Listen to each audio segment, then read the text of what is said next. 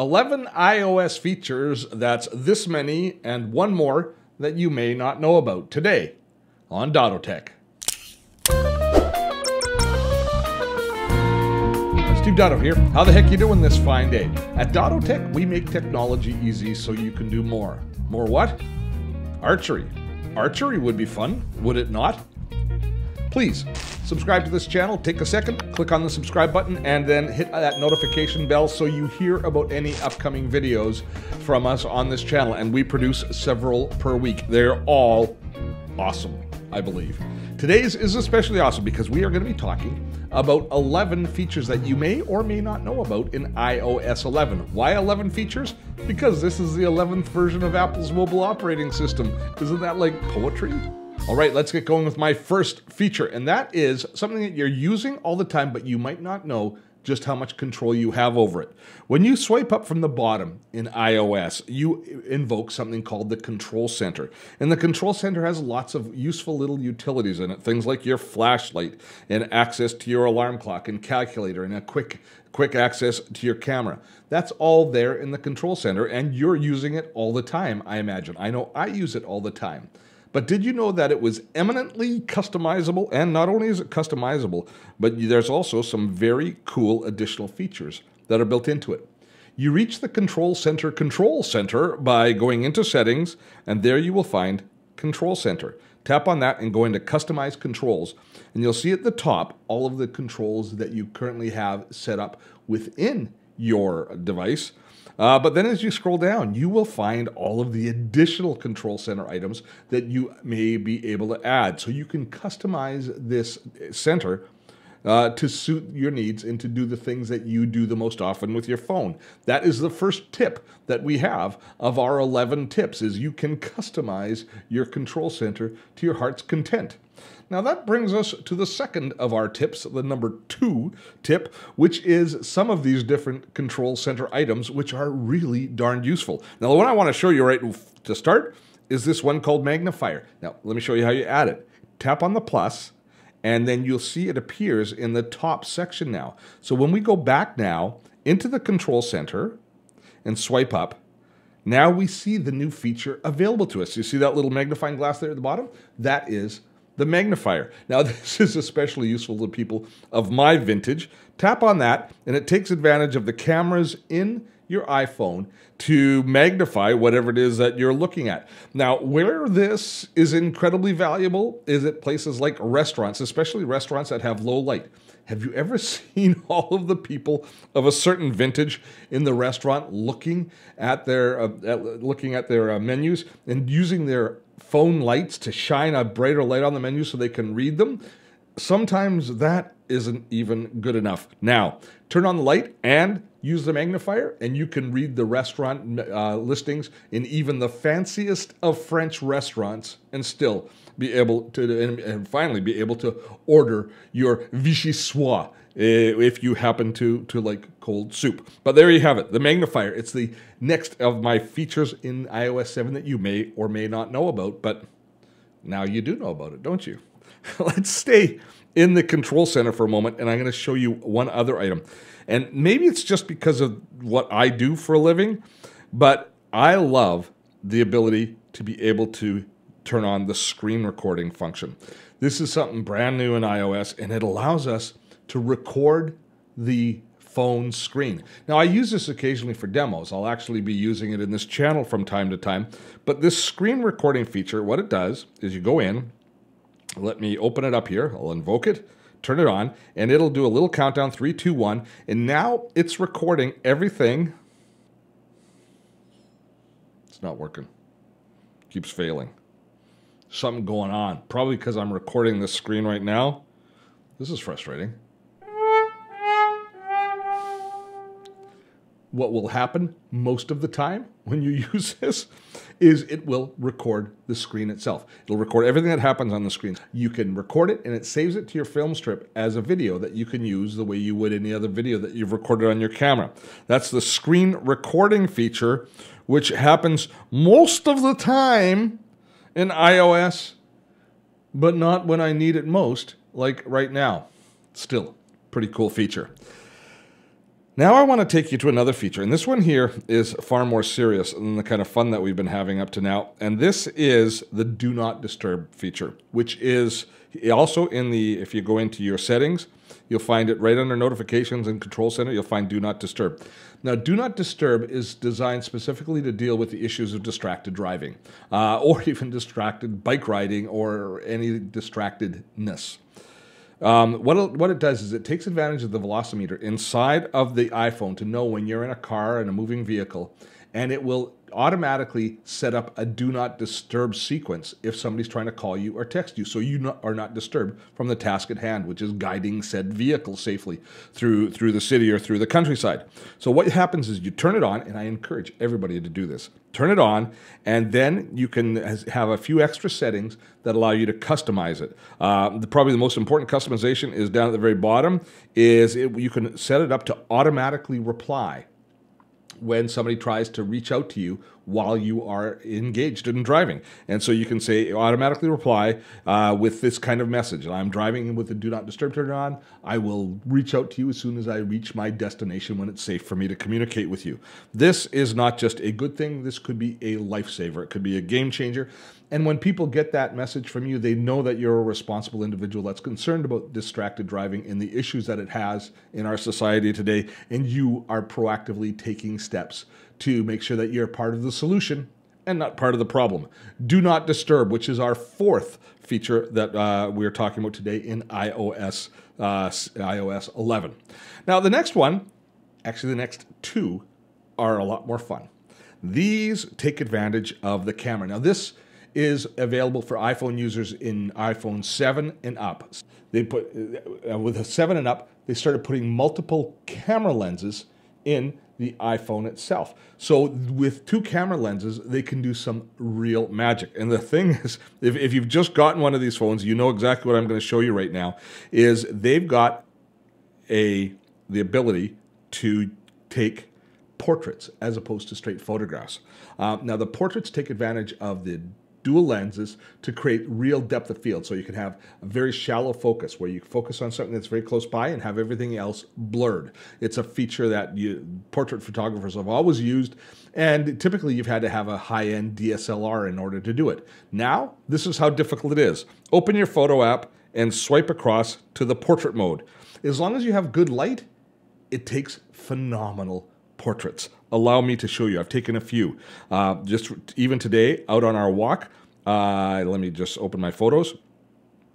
Here's a picture I took of Shan, uh, and it is absolutely gorgeous with her in beautiful focus and the background blurred out. And that's just, a, this wasn't a shot that we set up it was a snapshot that I took just the way you would normally with your with your camera with uh, with with your smartphone camera. Let me show you a picture I took of Farley a couple of weeks ago when it was snowing out just before I went away. There we go. There's Farley, and there he is. And this is one of the best pictures I've ever taken of my dog. And I took it just on a walk. It was snowing. It was really nice. Uh, I took a picture and it blurred out that background and left the foreground in sharp focus. If you and they've got additional filters that you can apply as well. The portrait mode in these cameras uh, just makes you, it's, it's, it's, it's a joy to use. You will absolutely love it. That is the fifth of my favorite new features or favorite features in iOS 11. Now, there's another feature in the camera mode which I'm going to show you. Now, the iPhone takes pictures called live pictures, which means that what happens is when Apple takes it, when you take a picture with your iPhone, if you've got live pictures turned on, it actually takes uh, grabs a few frames before and a few frames after of each picture that you take, and it so that you can so that you can actually pick a better frame if you want. Uh, but there's also some fun things that you can do with it. So let me show you. On the walk today with Shan, where I took that picture, there's also let's just show you here. This is another picture we took. We are trying to kind of do a little selfie. Now, if I press and hold on this, watch what happens. Is we see a few seconds before and a few seconds after. Do you see that? You see all of the live images available to you. That in itself is cool. And you can choose any of those frames as the key frame that you're going to actually have when you like share photos. But if you swipe up from the bottom of the screen uh, uh, of the photo when you do that, you will see that you've got these effects that are available to you as a part of the live photo, including the ability to do a loop. And this is kind of like the boomerang thing in Instagram, but you see that you can save these images as GIF files then that are animated GIFs. Now, one of the issues that many of us are having with the phones is we love the size. I've got this 8 Plus here. They're nice and big, but they have totally stopped me from being able to do anything one handed on the phone because they're so big I need two thumbs to type anything and do anything at all take a look here what we can do with uh, or, or the the extra the feature that you probably don't know about that's built into the iOS keyboard. So I'm in my texting mode here, and if I just press and hold on that emoji icon, see the little emoji icon on the bottom? Watch what happens when I press and hold on it up pops this keyboard selector at the bottom that allows me to hit, make a compressed keyboard that's going to be on one side of the screen or the other. And now look at the keyboard. It's ideally designed for me to be able to type. With a normal keyboard, my thumb couldn't reach across to the Q or the A or the Z key or the X key. It was too long a reach for me. But now when it's taking up maybe four fifths of the screen, I can comfortably one handed type. So for the first time, on the iPhone 8 or any of the plus versions of the phone, I can have a cup of coffee and I can be texting away at the same time. That is being liberated on your smartphone. And if you want to put the keyboard back, you just press and hold on the emoji key, move it back to the center, and then it's brought back to where it's supposed to be. I don't know why they've made this a press and hold on the emoji, and it makes it really a kind of a hidden, almost like an Easter egg. Now, you've been able to take screenshots with your smartphone for ages, uh, forever. And let me just uh, let me go to a picture. Maybe I'll take a, a screenshot of a picture. So let me go back to my photos to show you this. So this is something that you can do with your screenshot. So let's say I want to take a picture of this picture here, and a screenshot of it. If I hold down the uh, the, the right hand, the uh, the the, uh, the close button and the home button at the same time, it takes a screenshot. We know how to do that. So there's the screenshot there. But did you know that when you open the screenshot, that you have all of these markup tools available to you now. Take a look here. We've got all these tools where you can select colors and different types of pens. There we go. And you can select areas of the screen and move things around. Uh, so you can basically do entire markups of images or what people are writing to you or texting to you or sending to you. So you can create artwork or more compelling messages out of screen captures built right in to iOS 11. The ability to markup is number eight on my list of things that you may or may not know about that are built into iOS 11. Now, oh, this one is kind of cool too. Um, I bought these unbelievably expensive earbuds. They're AirPods, Apple's AirPods, and they're their Bluetooth wireless earbuds. And they work fantastically when I'm not afraid to use them because they're so expensive. I'm terrified to use them. They've got this funky little case that actually charges them, and it'll wirelessly charge them as well uh, when Apple brings out their wireless charger. Uh, but the AirPods are really nice. To be honest, they're great for doing walks. They're great for working around the house. They're not great on airplanes and stuff. They don't have enough volume, but they're really nice wireless Bluetooth earbuds. But we sacrifice a lot with the wireless earbuds. Mainly what we sacrifice is we sacrifice the controls that we had in the tether before. On the old earbuds, you had volume controls that were available to you right kind of at the junction of where the, the Y of the wires happened. And you also had a button that would allow you to pause music and, and play mute and, and, restart whatever it was you were listening to, be it a podcast or be it music. And you could also invoke Siri from that, uh, where you could have Siri uh, do, do things for you, such as dial the phone or something like that. But with the AirPods, most of us didn't realize that there's some functionality built into them that allows us to do some of the things. Not as many things as we could do with the tethered one, but there's a few things that we can do. Allow me to show you. Um, if we go into the settings, and it's a little bit hidden, you go into Bluetooth, and then you hit on the information button next to the information icon next to the earbuds themselves. Down there, you'll see double tap on an AirPod. That means that if I tap twice on either one, my right or my left AirPod, I have the option to invoke these commands. So these are the commands that are available to us. Turn on or off, jump to the next track, play or pause, or invoke Siri. So those are the ones, those are the ones we have. We don't have volume control here. You have to do volume control from your device. But now, so if I on my left pod, which is this side here, if I double tap, Siri should open. Let's see if that happens. What time is it? Thank you, Siri. Good evening to you too.